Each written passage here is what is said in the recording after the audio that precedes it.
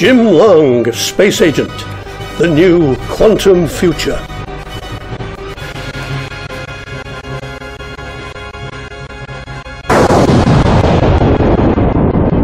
Adventures in Space and Fiction Fantasy. Four amazing short stories in the quantum worlds of Jim Long. Amazing destinations through space and other quantum realities.